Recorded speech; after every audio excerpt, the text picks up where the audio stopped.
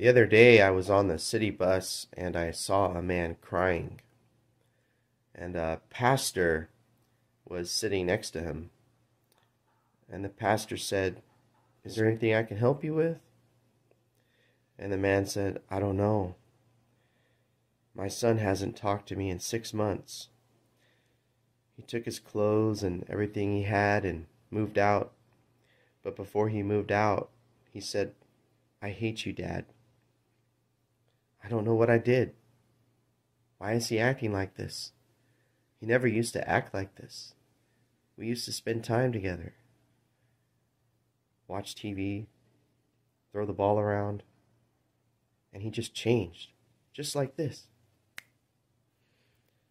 Sounds like your son's going through a lot, said the pastor. Yeah, and I am too. Lately, he said, all I've got is leaving on my mind. Leaving? What do you mean? Well, my son used to work with me. He would help me repair homes. But after he left, my own home just started to fall apart.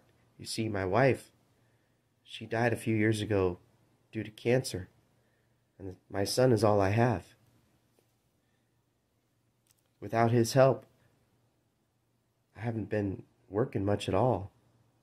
This old house I'm living in is needing, needing repair. Oh, the windows and the shutters keep letting in the cold, cold air.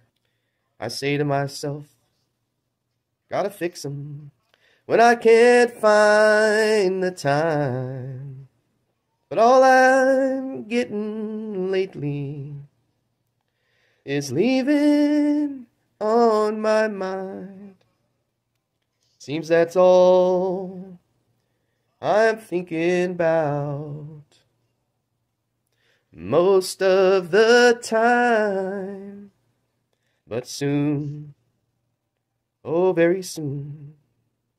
I'm gonna leave my troubles behind.